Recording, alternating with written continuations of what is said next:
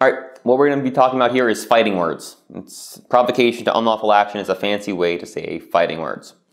The first category of speech we talked about, that was incitement, right, involved three people, me, you, and whoever got injured. Second type involved me injuring you through my threat, through my speech. The third is reversed. It is you injuring me because of my speech. Government can limit my speech if it is likely that you are going to punch my lights out because of it. So these are three categories of speech, kind of on different themes, but all unprotected by the First Amendment.